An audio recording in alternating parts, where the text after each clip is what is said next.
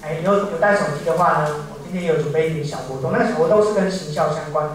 如果你想要做行销，你也可以把这一招拿来用。所以我今天呢，就是因为我们只有两个小时嘛，我里面的方法就是挑选过的，尽量挑简单、花费人力很少、不用额外再找人来做，或者额外再请工读生。因为我刚刚在车上就跟丁丁小姐聊了一下，我说：“哎，那你你们那个网络行销谁会来做？”他说：“就是大家分着，大家互相分着做。那代表一件事嘛，可能不一定会额外找人。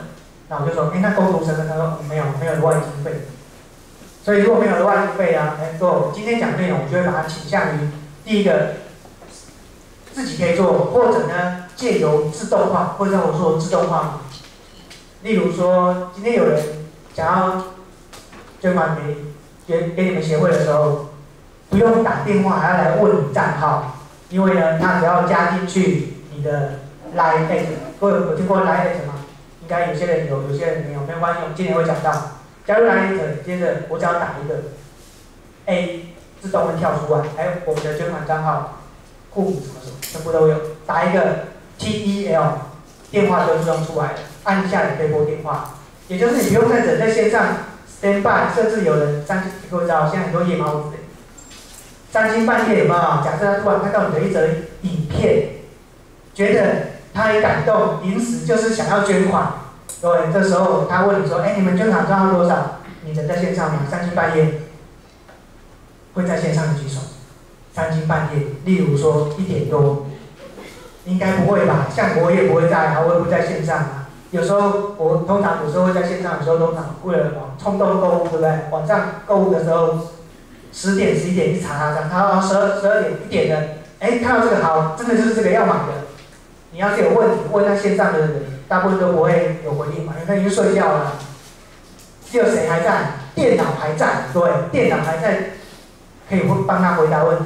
所以你要整理好常见问题，例如说收据我们会怎么寄给你嘛，或是他会担心的事情，你只要整理好做上去，基本上不关你的事啊，他会去转账，转完账搞不好还会跟你讲说，哎，我转的哦，啊，那个什么东西寄到哪里给我。那大部分的事情电脑会自动完成。那甚至呢，在行销面有一个非常重要的，特别是脸书里面，我们有粉丝专业的举手，协会有粉丝专业的，有的有的。好，各位，那非常好，有官方网站的，有网站的举手。啊，因为我要了解一下各位有有什么，我们内容虽然。都已经印出来，但是可以，我可以依照各位的什么拥有什么来调整，说哪边讲多一点，哪边讲少一点，或者哪边呢？看各位的表情，有时候我会知道啊。哎，你可能觉得这个没什么用。通常老师在前讲师在前面有没有都会知道各位的眼神啊、表情啊，都会知道这个东西到底有没有效，你有没有兴趣？大部分我们都知道。可能有甚至你在底下一种矛盾，哎，那老师不会知道我在干嘛的。躲在后后面，对不对？躲在他后面。其实我们都知道，只是我们又不好意思讲。以前当学生都觉得没影响，好吧？各位当学生的话，以前当学生有没有想过？哦，我在那边偷偷画画，老师在讲英文，对不对？偷偷画画，想说老师都不知道我在干嘛。其实他都知道。你就算坐在最后面，他也知道。